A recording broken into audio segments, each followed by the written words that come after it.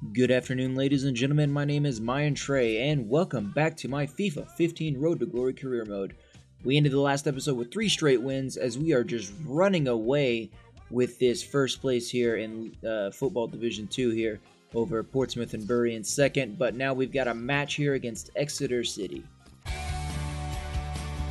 Hi everybody, Martin Tyler here with you. Alan Smith has joined me. League Two football for you today. Yeah, delighted to be here, Martin. Looking forward to it.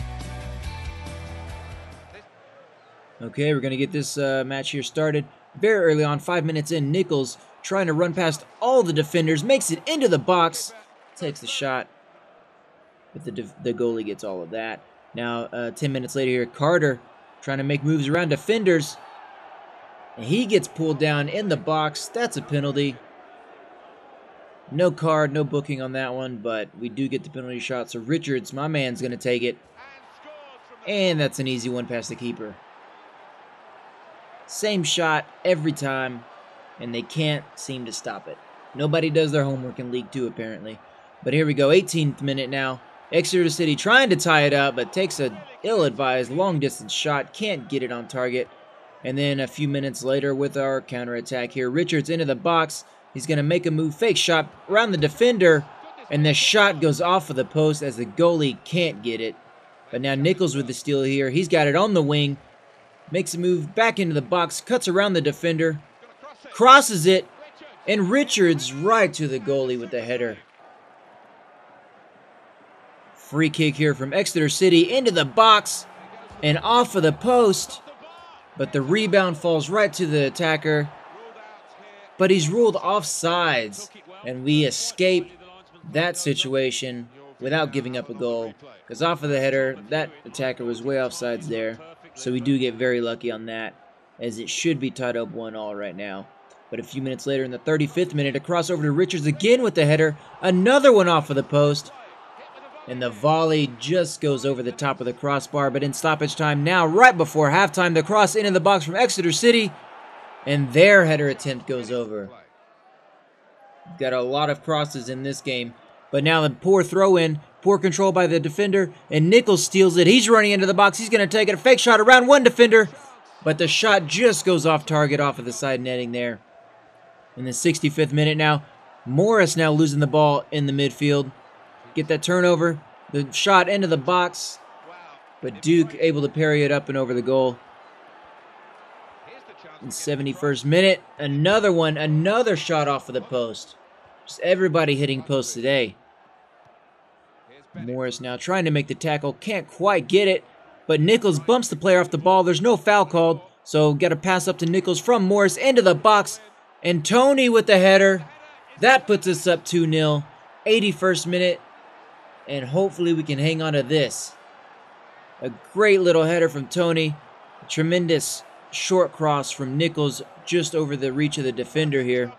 As we get another look at this, just he beats two defenders as they take bad positions on that header. But now we've got another opportunity, another through ball up to Toney from Hackett. Toney's going to take the shot, but just sends it wide, going far post on that. And in the dying moments here, Toney again with another opportunity, cuts back around the defender, into the box, into the middle of the box, takes the shot, and puts it past the keeper again. Second goal of the game puts us up 3 0. The game was already way decided at this point, but it never can hurt to get an extra goal going as he extends his total for the league. And that's the final whistle. And we come away with this one. Very easy 3 0 victory there. Exeter City put up a fight, but it wasn't enough. Duke was where he needed to be, and yet another shutout. Another clean sheet for Duke as he makes seven saves to get man of the match in this one. Quick look at our monthly reporter and our Youth Academy players now. We just got four players in there as I can't seem to find anyone good lately with my scouts. So hopefully I'm going to keep I'm going to try to keep them in there for the May update to see if we can get some upgrades on these guys, see if they advance a little bit before I bring them in to the uh, the top squad. But uh, my scout expired, and with those recent FA Cup uh, tournament uh, awards, I've gained a little bit more money, so now I can throw him back out there for just a few more months now. Hopefully, get a couple more players before that May update, like I said. And I'm just going to keep him in England. I'm going to try to pretty much just scout England only, especially as a League Two team. There's no reason that they would have a realistic budget to scout outside of this. Now we've got Dagenham and Redbridge here as the next league match. Hello and welcome to League Two. It's Northampton Town against Dagenham and Redbridge. So midway through the season and they're top of the table, they need to keep on winning. And right away, second minute of this one, Sinclair gets pulled off of the ball. That's going to be a free kick. Muhammad's going to take it, but he can't put it on target. Just sails over the crossbar there. But Toney now in the 35th minute, nothing doing the rest of the first half. Toney charging into the box, making moves around defenders, bumping them back, and he puts the ball past the keeper. Just a little short tap in across the ground around the keeper. Defenders are wondering why there was no foul on that play, but the referee's not having it. And he bumps back right there, shoves the defender back, but the referee doesn't call it, and he's able to just poke it past him. Easy peasy. 1 0 lead there over Dagenham. But Muhammad just gets wiped out, and no foul again. This referee is just not going to call anything today. We've got to play some defense here in the closing moments of the first half. And another delayed foul there. And then they finally work it up into the box. Not sure how. We got away without a penalty on that one. But a lob into the box, and the volley side shot just goes wide outside. But now we've made our way into the second half. Muhammad has been able to stay in the game. And the post shot there, and they just slam it home on the rebound as nobody is there to clean it up. And they have tied this game up 1 all here in the 69th minute. Late in the game now, getting later, 82nd minute. Sinclair on the attack with Richards on the side, but he chooses to take it himself, but he doesn't quite get it on target. And in the 88th minute, closing moments of the game here, Diamond misses the tackle. The attacker walks into the box around all my defenders, but takes a shot from wide. Bad angle on the shot, and he sends it to the side netting there. Now through ball up to Richards. He's going to cut back around the defender over to Moyo, and Moyo's able to push it past the keeper there.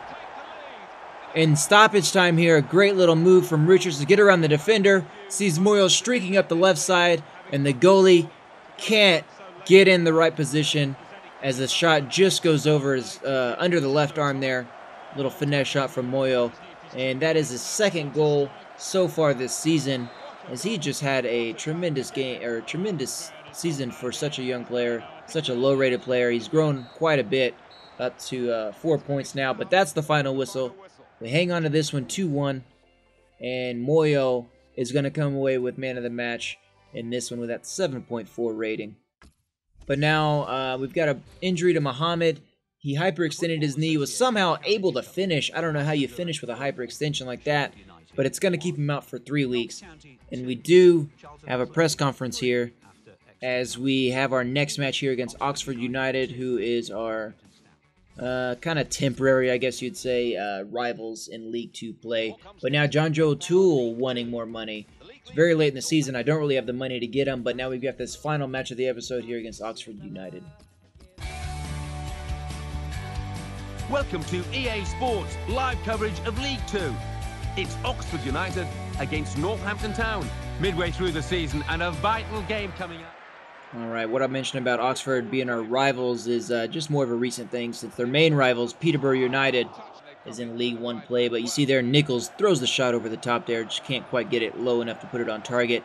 And this guy dancing around outside the box, sends it up, but they get called for offsides there, so the shot wouldn't have mattered. But now we've got a great ball over the top from O'Toole to Nichols. Nichols is going to take the little sliding shot to try to beat the goalie there, but he can't quite do it. But the ball falls back to him but the pass not quite good enough to get it to a player there. But Nichols another opportunity here right before halftime sends it over to Richards, and Richards is going to put that one home no problem. As the goalie had no idea Richards was coming up that left side, he was waiting for the shot all the way. It's a great little move from Nichols to get it to Richards there.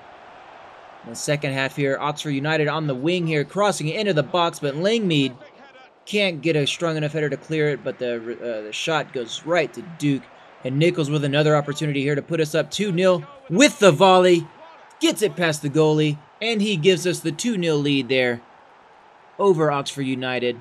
who in recent the back well in the back half of the season they've kind of fallen down. They they were in the top top of the table to start the year, but haven't been able to do it. Hornby just moving it past everybody, takes a little touch past the keeper and just walks it into the net to bring us up 3-0 in this one. Great move. I believe that to be Hornby's first goal of the year as he's filling in for Jonjo O'Toole in that uh, cam position. Everybody coming to congratulate him. And those Oxford United fans are not very pleased with this. There's a great little just tap right past the keeper as he dives for the ball to make a miss. Yep, there you go. First goal, League Two play. And that's the final whistle. Another easy victory here as we end this one to close out the episode 3 0 over Oxford United. Matt Duke getting man of the match with another shutout. He is just on fire with his clean sheets these last few episodes. I think he's given up probably just a couple of goals overall. He only gave up two to West Ham. We had that one to Dagenham.